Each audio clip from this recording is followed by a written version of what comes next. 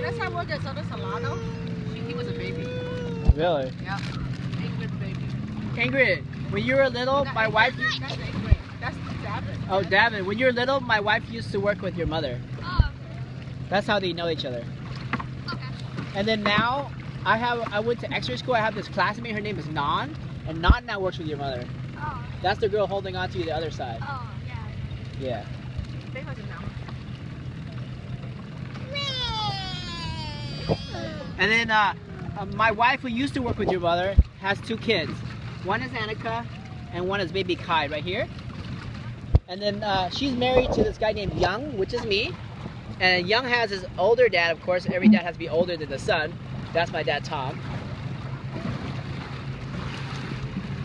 I think he lost. Where are we going? Um, I think I want to get up. You want to get up? going inside? Yeah. Okay.